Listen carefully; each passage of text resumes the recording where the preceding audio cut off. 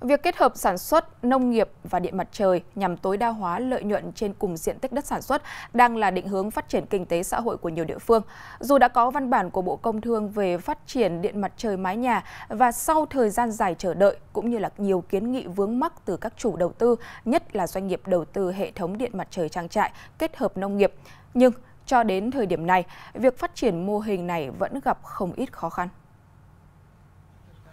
Sự phát triển ồ ạt của các dự án điện mặt trời kết hợp nông nghiệp công nghệ cao một cách nhanh chóng đã kéo theo hệ lụy là một số dự án chưa được nghiên cứu kỹ sau quá trình triển khai đã phải sang nhượng chủ đầu tư.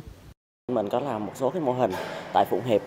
à, đã đấu nối được 30 và ở dưới cũng có trồng nấm nuôi lương là cái mô hình nông nghiệp ở dưới nó không phù hợp lúc đầu cái máy nó khá là thấp có khả năng mình đi vào những người cao cao một chút có thể bị động đầu thì nó không phù hợp với mô hình là nông nghiệp. Ở dưới mình cũng nuôi trồng nó cũng khó nữa cho nên mình đang chuyển đổi cái mô hình đó qua một cái mô hình khác có thể đào ao để nuôi cá thì nó phù hợp hơn Tỉnh Hậu Giang được đánh giá là địa phương có lượng bức xạ tốt, thích hợp cho việc phát triển điện mặt trời với mức bức xạ năng lượng mặt trời trung bình là khoảng 4,3 đến 4,9 kWh một mét vuông một ngày. Riêng về điện mặt trời áp mái trên các trang trại nông nghiệp đến nay có 96 nhà đầu tư đến tìm hiểu và xin chủ trương đầu tư với tổng công suất đăng ký là 212 MW.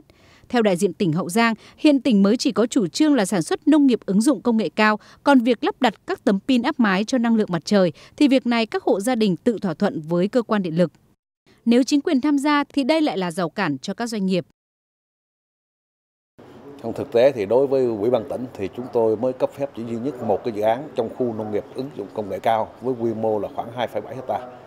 Đó là coi như là cấp thẩm quyền của Ủy ban tỉnh cấp phép.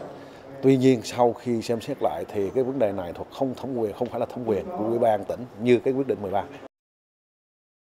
Thời gian vừa qua đã có khá nhiều thông tin về việc một số tỉnh thành miền Trung như Gia Lai, Đắk Lắk, điện mặt trời áp mái đang được lắp đặt tràn lan từ mái nhà cho đến nông trại dưới danh nghĩa nông nghiệp công nghệ cao trong bối cảnh chính quyền, cơ quan chức năng thừa nhận chưa có quy hoạch cụ thể cho loại hình kinh doanh này để kết hợp sản xuất nông nghiệp và điện mặt trời nhằm tối đa hóa lợi nhuận trên cùng một đơn vị diện tích. Tới đây rất cần sự phối hợp giữa Bộ Công Thương, Bộ Nông nghiệp và Phát triển Nông thôn, Bộ Tài nguyên Môi trường để định hướng cho các địa phương sử dụng đất đai, đất nông nghiệp trồng lúa, kết hợp sử dụng năng lượng mặt trời áp mái, phát huy được những lợi ích trong tương lai.